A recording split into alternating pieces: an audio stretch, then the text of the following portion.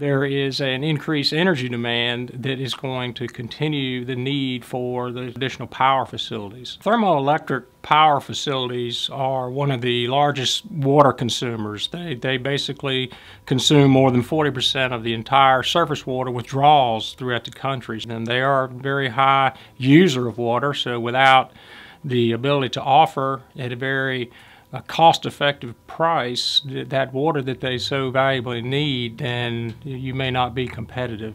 We actually had a, uh, a client call one day, and they had the adequate grid system. They had a biomass capabilities, waste biomass, to fuel this power facility. But the one thing they were missing was a low-cost water supply, and they did not want to use any potable water. One of the alternatives we started discussing this uh, was the use of reused water from a wastewater facility that they had. I knew based on the demand that there was being requested that there was not enough reliable around-the-clock water available from their effluent from the waste plant to use at this power facility.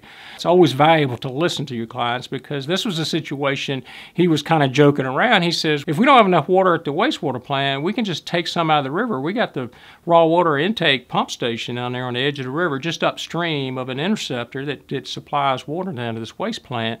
And I thought for a second, I said, well, you know, I said, that just makes way too much sense. You've got excess raw water capacity at the time right now, so we can divert this flow, treat it through there. With that, of course, comes additional wastewater. And with the additional wastewater, you now satisfy your flows for your final effluent to be able to meet the reuse requirements for your power industry and we had a fast-paced construction, got everything in place, and was basically able to uh, satisfy 100% of the demands from that industry.